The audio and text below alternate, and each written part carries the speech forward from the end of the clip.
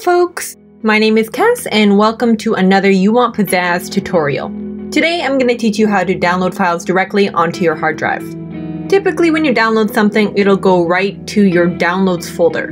But if you go into your web browser settings, you can actually change the location of your downloads.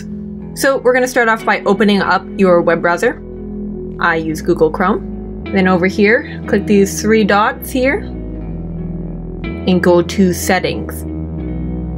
All right, now you want to scroll down, click advanced,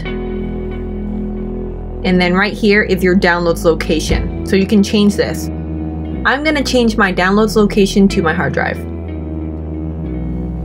Okay, press select. And now when you download something, it'll go directly to your hard drive.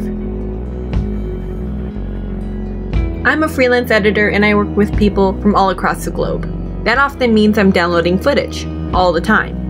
So it's great to choose specifically where the footage is going because sometimes you might not have enough room on your computer and it may need to be transferred to an external source.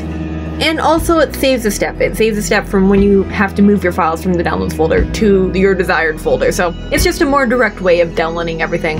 Anyways, that was my tutorial. Please give this video a like or leave a comment if you found this video helpful. Thanks for watching!